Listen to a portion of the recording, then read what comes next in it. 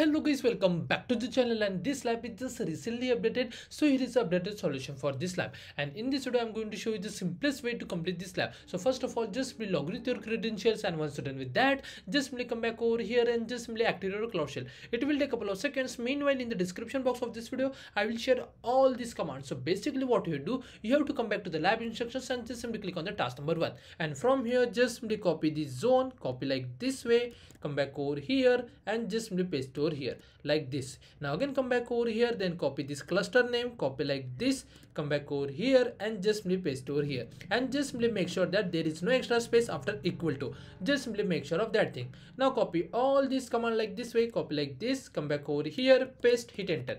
Wait for a second and then just simply click on this authorize button. Now you have to just simply wait for this command get execute and once it's done you are done with this lab. So just simply wait for a couple of minutes and let's see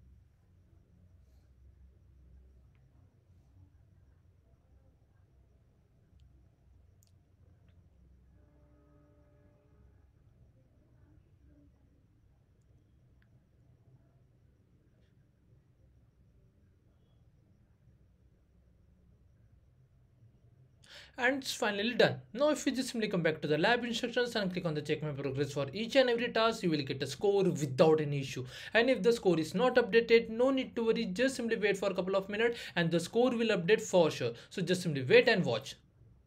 So as you can see for the last two tasks we are not getting a score. But if I just simply come back over here and click on the check my progress for the task number 4 just simply scroll down and click on this. We will get a green tick over here. Again just simply scroll down click over here just simply wait. And as you can see we got a green tick over here. Now again just scroll down and click on this check my progress.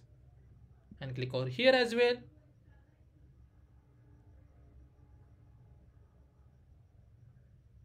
So as you can see we get a green tick over here. Just simply wait and the score will update for sure. Just simply wait and watch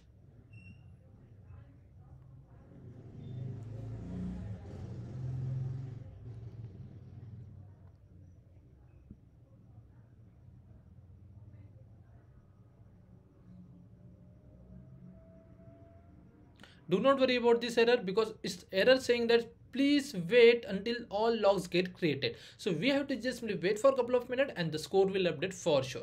Just simply wait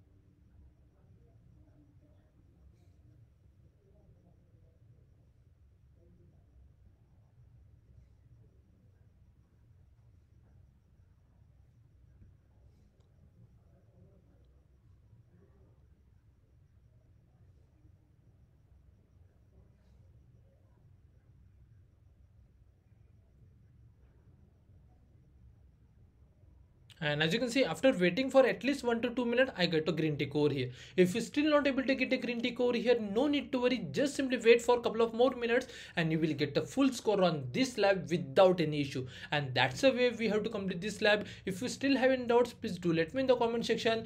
Thanks for watching and have a good day guys